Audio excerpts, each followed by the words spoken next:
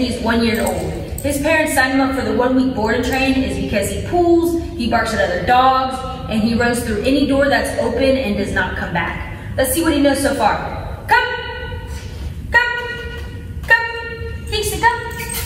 Hi, buddy! Good boy! Good job! Sit! Good sit, buddy. Good boy. Good sit.